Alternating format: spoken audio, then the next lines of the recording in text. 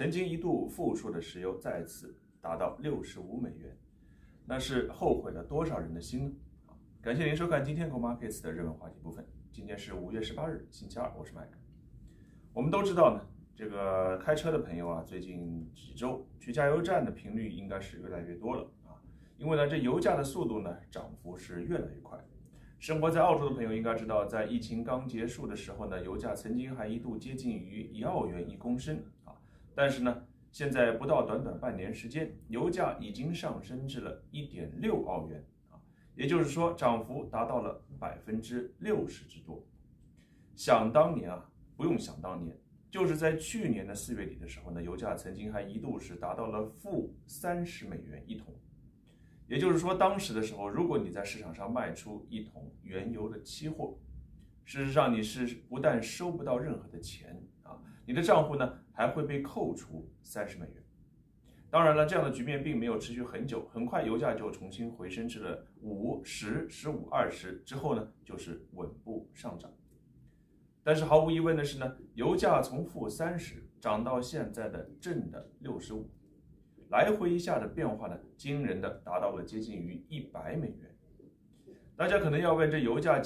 连续的上涨，真的仅仅是因为疫情的问题吗？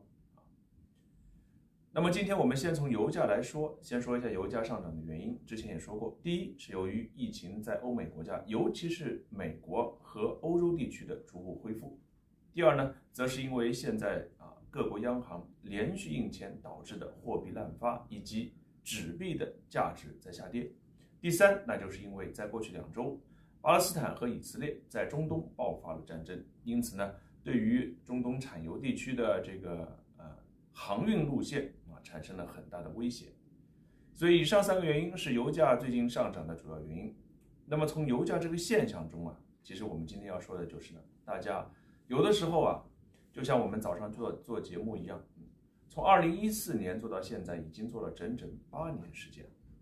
在这八年时间中啊，咱们都知道，那抗战都已经结束了，小孩都可以打酱油了。但是如果收音机前的朋友们，或者是收看我们视频的朋友们，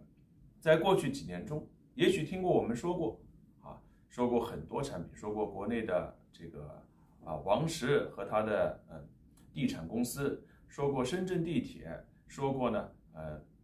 美国的特斯拉说过，中国的阿里巴巴，各种的产品都说了一遍。但是，大家听完之后，是把它当做一个呃闲暇娱乐或者上班开车时解闷的这个节目呢，还是说我们的节目能够对你产生一些影响，改变你的一些思维？我们知道人的固定思维是非常难以被改变的啊。什么叫固定思维呢？咱们举个例子。就是有两个股票啊，一个股票是八块钱，一个股票呢是八十块钱。举例，比如说昆士兰银行八块钱一股，联邦银行八十澳元一股。正常的普通股民首先都会第一反应就是联邦银行太贵了，肯定不买，要买就买便宜的八块钱，涨到二三十那就是两三倍、三四倍。你说八十还能涨多少呢？同样的，当原油也好或者其他产品也好。它的价格严重的下跌的时候，很多朋友们也会想，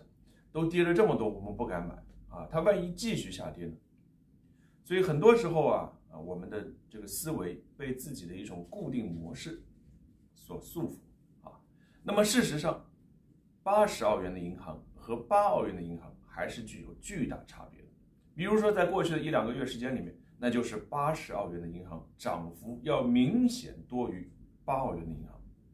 同样，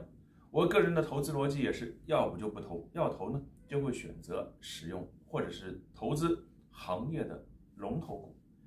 因为龙头股有它的战略性优势，就是它基本垄断了这个市场，或者是市场里面保保有率最大的一个公司，因此它的价格很大程度上来说，为什么价格那么贵是有它原因的，英文里面常就经常会说到呢。这个 premium price comes with premium service，也就是贵的价格有贵的道理。通常贵的东西都会是带有优质的服务或者是产品质量。我并不是意味着告诉大家一定要买最贵的，但是不管我们投资也好，或者我们做生意也好，甚至于开个奶茶店也罢，很多时候千万买东西呢，便宜它不是我们首选，要搞清我们自己想要什么，然后呢去寻找你要买东西它是否啊达到了我们的要求，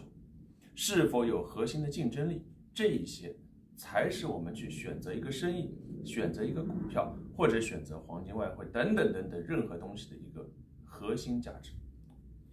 好了，感谢您收看今天的热门话题部分，我们下期节目再见。股票外汇想买就买，石油黄金一网打尽，不懂英文不是问题。Go Markets 在线交易首选券商。